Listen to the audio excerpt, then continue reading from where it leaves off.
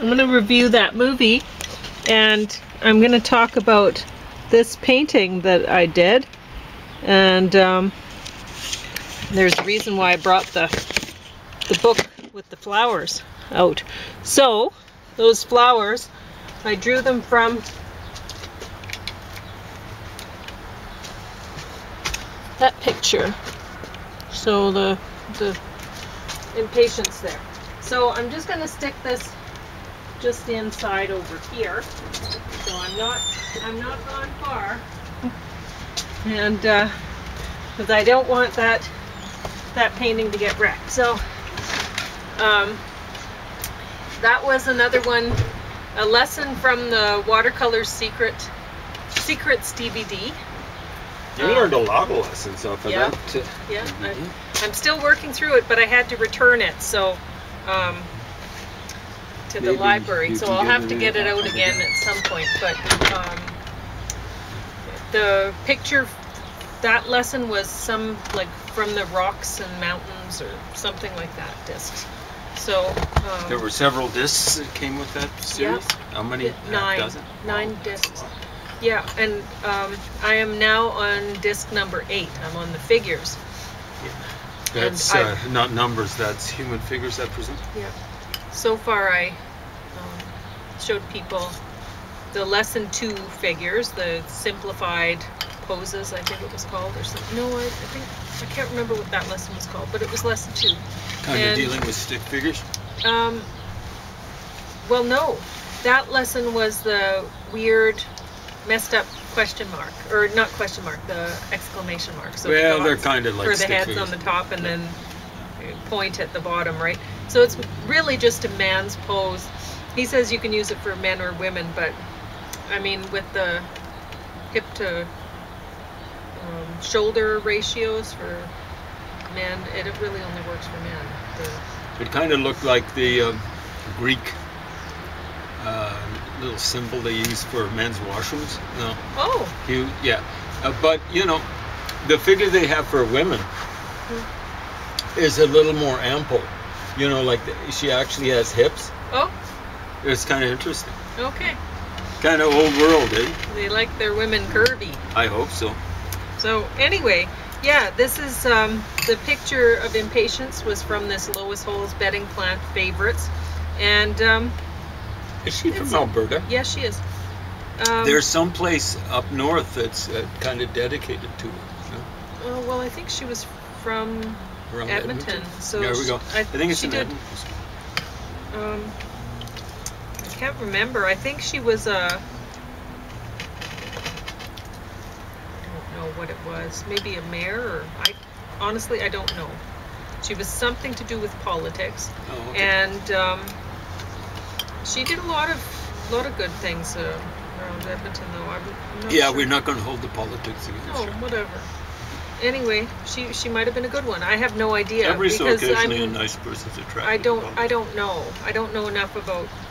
I'm not from Edmonton area. I don't know what she was doing exactly, but I do know that she has a that she likes gardening, right? So she has some books, and um, and this has a lot of uh, bedding plant favorites in here. That I mean, who doesn't like impatience? So I put impatience in because I was thinking of the impatience that I had in these um, in the window planters along the deck and uh, last this past summer.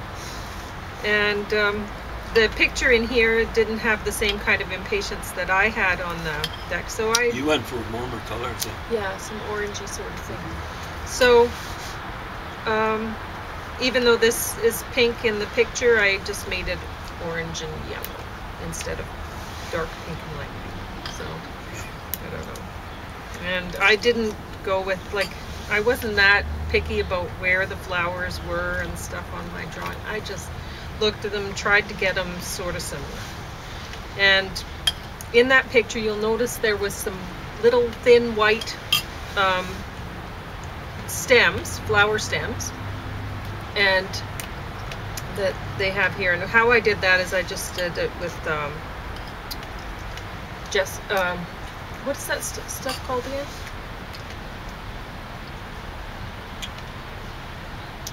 Paint that's weird that I just got. Gouache. Gouache. I did it with the white gouache, and um, I don't I don't know if I used masking fluid in for this for the flowers. For, but anyway, I probably used masking fluid somewhere in that picture, but not for the flowers. So anyway, I am using a lot less masking fluid now that I'm more comfortable with painting. I'm I'm not afraid. Oh, I'll slop over the edge or what. I just don't. I guess I don't care that much if I slop over the edge, and I'm. It, I get it pretty right anyway, so I haven't been using the masking fluid that much. But um, anyway, body at Brighton Rock. This Murder mystery. well, it's it's actually pretty interesting. I don't want to give it away. You know, there's going to be a dead body that somebody's going to find. But um, one thing that I found interesting is I had just received an email from Parks Canada about apply for your dream job, and I was thinking, oh, should I? Because I always think that, and then I think, oh, if I lived in the park or right near the park, I could. And anyway, then I watched this, and I'm like, yeah, I, I'm really too old to be trying to wrestle with a bear or whatever. I don't know. So, but James and I have had no problems with bears. Um, it's amazing. You Yeah. get some people that say, I'm- uh, I've seen dozens, hundreds of bears. One guy we were talking to. yeah. It's not as though we make a lot of noise. No. Well, we we sometimes see them, but they're not. They haven't been a problem with us. I've And only met one on honestly- the trail, and it was it uh, took evasive action. Yeah, I I wasn't mean, scared or we haven't like run that. into grizzly bears. No. We've run into black bears on the trails and stuff, or near the trails. But the black bears, I don't know. I guess I'm just not not afraid of them. I'm more afraid of running across a pit bull while walking in town than running across a black bear. It's hiking on the amazing. You see, you'll see women, little women. It's like Louisa May Alcott time, walking two pit bulls, and I'm going. One of those could drag you like a movie horse, and you'd be like a uh, a, a cowboy getting dragged behind. They have no idea how strong pit bulls are. They'll, they can drag a car. No, the car would be in neutral. That's one, not two excuse me and uh, you know it's not a smart car just a regular And I mean, I guess I should I should say we don't pack bear spray along. We go out in pairs. We never go out alone. If I, I was out alone, I'd I've talked about how I'd make my own bear spray. I'd put a big so, super soaker, strap it over my back, and walk around like Rambo with it full of um, it's My homemade. Rambo. Go ahead. bear spray.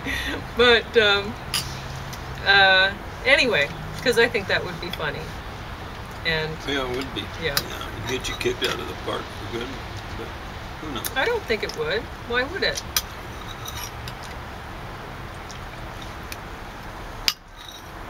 I bet a super soaker would shoot further than those bear spray containers. of course those bear spray containers if, if you're blowing it into the wind you're just going to get you're going to eat it Well, that that's it.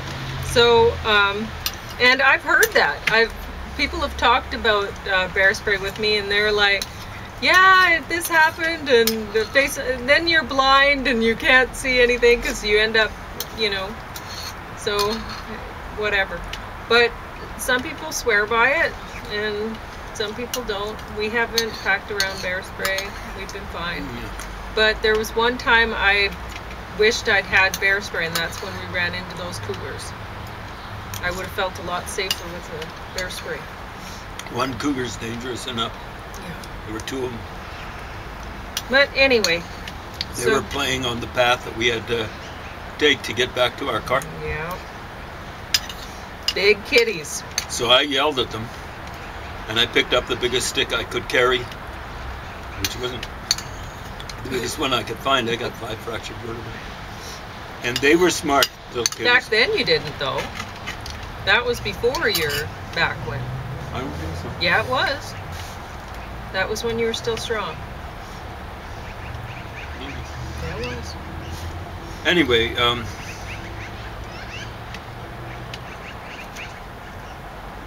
as soon as they heard Paul, Pauline whisper to me, and they were a long ways away, oh. their hearing is stunning. Yeah.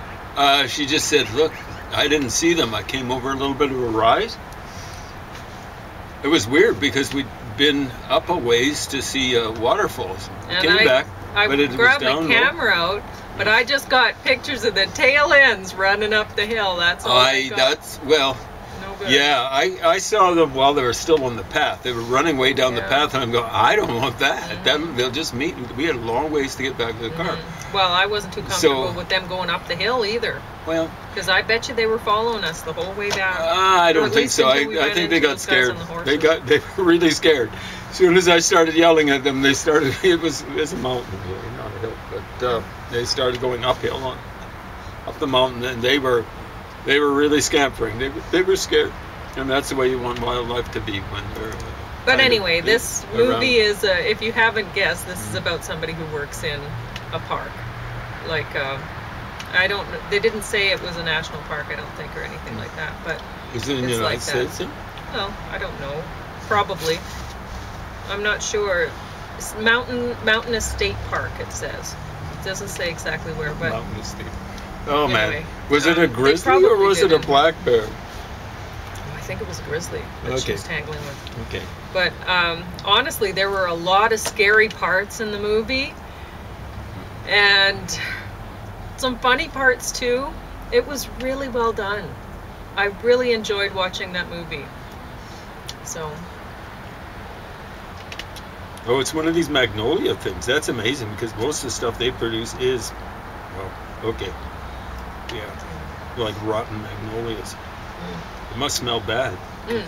Well, you were going to review some books. Where are your Yeah, I've got them. Well, I'm protecting them. Oh, from you're the water, protecting them right? from the water. I mean, th- yeah. this thing's plasticized. it's almost done melting. If you look up, there's just a two little pieces left up there. Well, I can feel the stuff coming down. But anyway, so here's stuff that I've been threatening to review. So okay. we'll deal with Isaac Ass Ass Assy Asinine to the bag. Okay, I'll tell you how much time you have, but you should have lots. I don't know. All right, you have lots of time. Oh yeah. Over 15.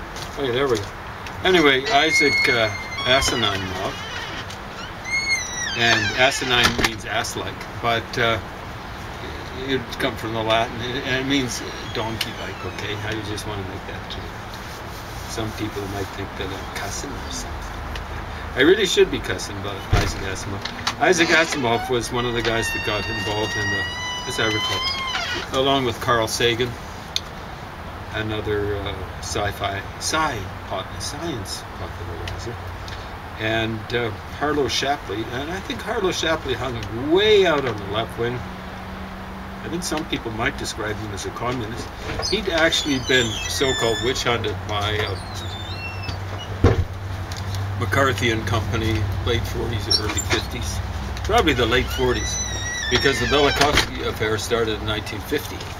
And of course, uh, lefties are uh, just, they're not really a good lefty unless they're witch hunting someone. And so, you know, like uh, there was a person who uh, came along in the wake, a sociologist of some sort or another, called Alfred de Grazia, came along in the wake of uh, Velikovsky. The, he wasn't there right at the beginning. I just want to stop you for a minute and point out that we are left wingers. Yes, we are. But, uh, yeah, of course. Uh, And we don't witch hunt people. Well, we're exceptions. You know, like the majority of left wingers out there are uh, just uh, really, really gung ho about uh, if they don't do the witch hunting, they'll get other people, let's say, of uh, religions that they particularly favor and stuff like that, uh, to do the witch hunt. And uh, there's at least one religion where their witch hunting is uh, involves death. So, and uh, it's very much seems to be the favorite of. Uh, they're fake left wingers, really. They're not really left wingers. You can't go around witch hunting and be a left winger. Well, it's that. You know, you should believe in freedom of speech, aside from calling uh, out fire in a crowded theater or uh, uh, putting a contract out on someone. And uh, that involves the mafia, but it also involves the religion that's the favorite of uh, uh, these uh, Oh, fake should left take your wingers. Dishes. So uh, yeah, that's a point uh, that's well made and should be well taken. Okay. So uh, Isaac Asimov uh, uh, got involved with that, and uh, well, I was men- yeah, he mentions Harlow Shapley many, many times in this uh, uh, this thing. This uh, book was published in 1966. See if I can find Harlow in here. Uh, you know, how many pages is that? Eh, Only seven pages, but uh, that's more than many astronomers. Let's see how many times Galileo is mentioned. I mean, he's uh, vital. Galileo. Five, six, seven, eight times. How many was Shapley? Was it seven or eight? Let's just see. Come on, Harlow. Come on, Harlot. Shapley. Seven times. So one less than Galileo. How about uh, Nikola Kop- Kop- Copernic or whatever his name was, otherwise known as Copernicus, Nicholas Copernicus. I think they spell it with a C, don't they? Really be K. Copernicus three times. Harlow Shapley more than twice as many uh, pages, in whole or in part, devoted to it. Well, that, that's fascinating. How about Johannes Kepler? Now, understand there was a woman that uh, Harlow Shapley got to do his hatchet work uh, in the witch hunting of Velikovsky, and her name was uh, Payne Gaposchkin. I can't recall her first name. Is it Maria or something like that? Cecilia, I think, which means blind, actually. But she wasn't blind to Harlow Shapley. She was married to an astronomer's mentioner. She's not mentioned herself, but uh, her, her maiden name, I think, was Payne, and there was a guy called Gaposchkin. Here we are. He gets one mention. Sergei Ilyar- Illarionovich, which would probably be the son of something like Hilarion or Hillary, uh, anglicized. Sergei, uh, I'm pretty sure it's Russian. Gaposchkin. Interesting. Gaposchkin, I'm not sure where the accent comes.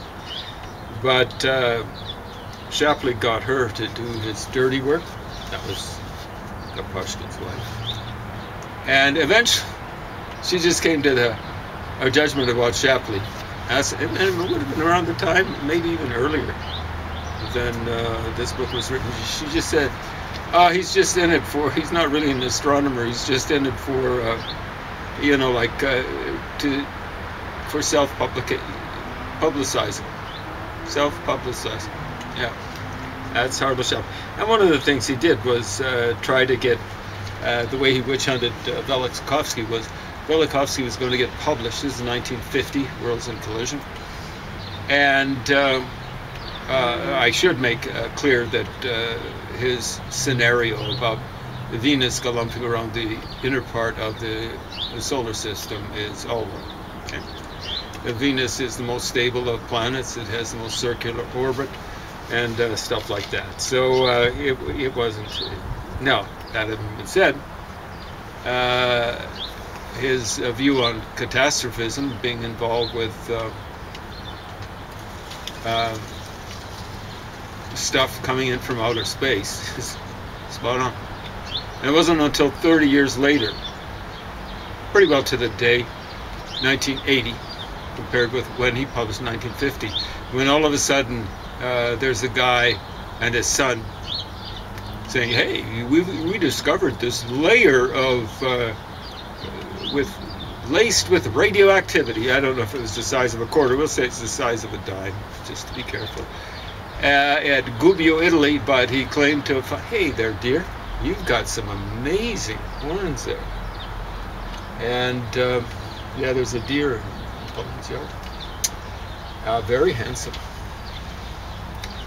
And uh, they claim to have found it, and I don't think anyone's disputed that, uh, this radioactive bearing layer all around the world. And from there, the idea came that the world got hit by, I think they say a meteor. Uh, it's basically in the, I believe, on the edge of the Yucatan Peninsula, you know, kind of where it meets the Gulf of Mexico. Uh, yeah, what they don't understand is it would have been a comet, and you know, like that's one hit on kind of like on the Earth's surface, uh, like on the continental surface. But you know, the world, surface is, I think, more than two thirds, maybe close to seventy percent water. And a woman a while back at a Ivy League institution, uh, Columbia University. Uh, so this is maybe starting 25 years ago, something like that, 20 years ago, more than 20. Uh, she was saying, hey, I found all sorts of impact sites in the bottom of oceans. Right? Lots of them. Lots and lots and lots of them. Her research, I don't think, goes back as far as the time of the dinosaurs. And you know, like the surface of the ocean floor probably wouldn't preserve something from, we're told it's 65 billion years ago. That's probably uh, somewhat melodramatic. Uh, they find that the potassium argon dating on, let's say, Mount St. Helens is off maybe by a factor of 10. So 6.5 million years ago, something like that. That's the dating system that they use for stuff that's uh, too old to be dated by carbon 14. Uh, stuff uh, that was dated, uh, a volcano that blew off in Hawaii a few hundred years ago, tested thousands of years old. Off by maybe a factor of 10. But, uh, anyway, long time ago. Uh, anyway, uh, Harlow Shapley, yeah, Payne Gaposchkin finally said that uh, he was just more into self-publicizing. And one of the ways he, uh, I mean, he had, uh, he was one of these idiots who thought that the, can you imagine, the Milky Way was all there was to it. I gather he thought that was the universe. yeah, you know, if you look outside the plane of the Milky Way, which is basically the galaxy, our galaxy, the way we view it, we're kind of embedded in it. We're not right in the center, not even close, thank heavens, we get roasted, I'm sure. Uh, but, uh, or zapped to death by radi radiation coming from galaxy central. But uh, when you look, uh, let's say this is uh, the Milky Way. Did you see who's on the other side of Yeah, the I saw him. Do, do you want to get a picture of him? I will, Is he still there? Yeah, he's right here. Hi, Yeah, honey. I think the folks would love to see him. He's an amazing pair of antlers. That's what I saw. There he in. is. I thought it was him. Hi. Did you want me to get you an apple? I'll get you an apple. You just stay here. Okay. You can go ahead and talk. I'll get the Yeah, apple. exactly right. I don't know if the camera's focused on me, but what the hey, hi there. Anyway, um, uh, what was I saying? Harlow Shapley. Yeah, he was a skunk. Uh, and, uh, oh yeah, it was Alfred de Grazia, sociologist, said, oh, the reason why he was witch hunting, he never used that term, was Velikovsky was because he'd been witch hunted by McCarthy. Well, you know, like uh, the uh, nifty, shifty, hefty lefties, the one that were way out on the left wing, they were the ones who were hiding what Stalin was doing. What he was doing was real witch hunting. You know, when you hunt witches, if you don't kill someone, it's not, re- you know, like what did they do in New England? Burn the witches or something like that? It's not really witch hunting, okay? You know, the, all these nifty, shifty left. oh, you know, like. No, no, no, no. yeah. Look, apple. Apple guy. Hey, you want food? Come on, food. look. Food. He got scared some reason. I scared him. Yeah, I think it was I just mentioning too much of Harlow Shapley. I'll probably find deer vomit out in the, the yard there. Maybe it's a deer with taste. Anyway, uh, yeah, uh, you know, like, uh, it's stunning. They're crying, oh, you know, like Lillian Hellman writes a book, Scoundrel Time, you know, about, uh, I think she was writing that not about Nixon uh, in his uh, second incarnation, but way back when. Jesus H Christ, she she kept her little uh, her little dacha, as it were, up in New England all this time. Yeah, Hollywood didn't want to hire her as a writer. I, she can't have been a very good writer. Well, haven't read anything by her, but Jesus, uh, you know, like they they were uh, hiring lefties right, left, and center, whether, whether left, left, and lefter. Um, yeah, left, lefter, and leftist. But um, yeah. Anyway, uh, this he kind of Isaac Asimov. Getting back to him, he got involved. It's Carl Sagan was the worst. They, uh, you know, when Velikovsky was just uh, like two feet from the grave, he would have been about 79, I think, like that, or maybe it was 1979, and he was getting up near 80. And uh, Carl Sagan uh, set up a a kind of like a not really a seminar, but uh, a convention or, or, something like that, where the Velikovskians were supposed to face off with uh, conventional astronomers, and uh, it was supposed to be set up. There'd be Velikovsky on his side, and he'd have his experts on his side, and then there'd be Carl Sagan and company over in the other side, all the experts. Then uh, what happens is Velikovsky turns up. He's almost 80 years old. Sagan's, you know, I, I don't think he's even 50 a young pup, and they, he's got all his guys on the side. They don't allow anyone to come in and argue on Velikovsky's side. So here are all these young pups lined up, just firing questions at them. And then they published their findings. And they said, We won the debate. Well, according to people who were there, who are kind of not really involved one side or the other, the crowd was on Velikovsky's side. Uh, there were things that they came up with that he wouldn't be able to answer, but Jesus H. God, he was almost 80 years old. You try something like that with one person the age of Sagan, much less a whole, a whole flotilla of them. Absolutely disgusting. And since then, they've been going around saying, hey, you, know, you don't hear much about Velikovsky anymore. Hey, we really showed him up you know, like kind of LeBron James beating their chests and all this sort of stuff after he uh, does a dunk or whatever. Absolutely shameful. How much time? Two minutes? Um, 30 seconds. A uh, minute and a half, sorry. Okay. Anyway, it's, uh, uh, this is okay. I mean, it's uh, very conventional. You know, if you want to find out the way the universe really works, and you don't want to talk to me about it, uh, you'll discover someone called Alfvén who actually predicted that the universe out there would be chock full of electromagnetic fields. Einstein is a big hero here. He was saying it's empty space. It ain't empty space. Now understand the people who follow Alfvén, there's a guy called Lerner. He says the Big Bang never happened. He's right, but he's wrong about it. He's saying, okay, just in our local area, everything's flying away from us. It's not everything is flying away from us. He doesn't understand. We live in a great big galumphing galaxy bigger than pretty well anything out there, else out there, and we've got they haven't detected it. They never will. They'll never get to the edge of the galaxy. But we've got a huge galaxy wind moving away from us. There are two, two, count them, two Doppler shifts for light. And what's happening is the stuff coming from these feeble galaxies from outside of us is getting slowed down. And it gets a redshift as a result. That's what's happened. So Lerner hasn't even figured it out. But you, will you'll start to figure it out. Alfvén actually won a Nobel Prize.